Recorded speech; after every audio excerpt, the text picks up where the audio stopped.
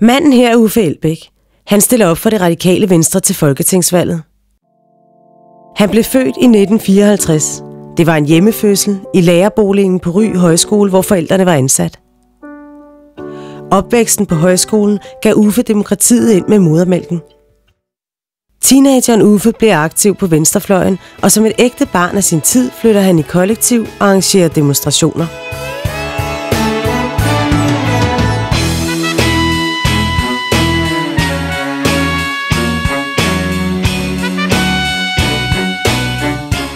Sammen med kæresten Karin tager han i 1976 til USA, og ni måneder senere får de sønnen Frej.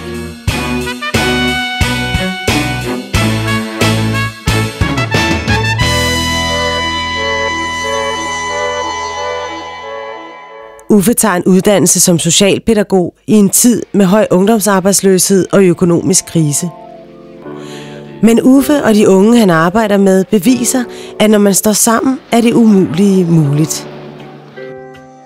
I 80'erne bliver Uffe voksen. Det lange hår bliver kort. Han får sin første mandekæreste, og han er med til at starte kulturorganisationen Frontløberne.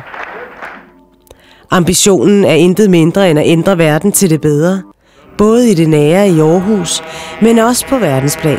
Jeg synes, det er en mærkelig fornemmelse at stå her midt på en rød plads. Redskaberne er dialog, kultur og ukulig optimisme.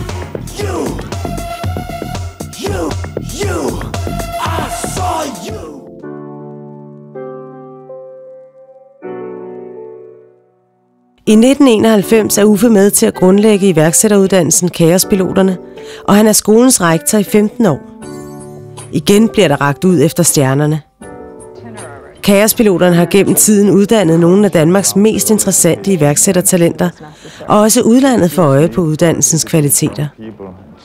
Chaos Pilots. It's a school that was founded in 1991 in Denmark in response to a changing business horizon. I 2001 går Uffe ind i politik og sidder i fem år i Aarhus Byråd for det radikale venstre. Da han træder af, er det for at flytte til København og påtage sig ansvaret som direktør for World Out Games welcoming its participants from over 80 countries.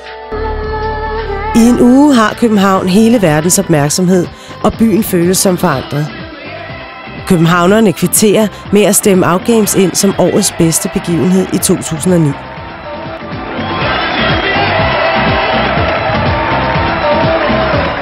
Nu kender du forhåbentlig Uffe lidt bedre. Den engagerede græsrod, nyskaberen, den ambitiøse leder. Alle sammen egenskaber, han har med sig som politiker.